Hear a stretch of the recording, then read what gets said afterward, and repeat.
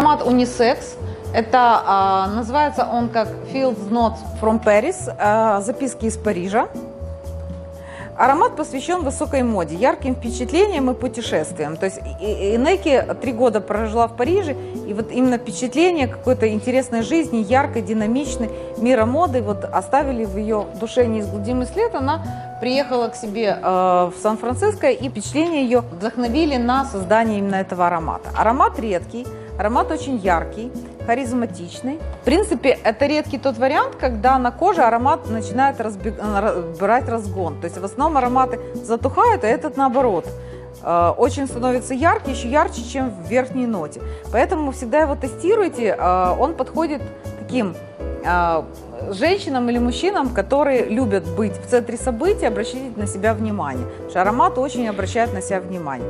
Основными нотами являются цитрус, ноты пачули и табак. Здесь вот ре- редкие ноты табака.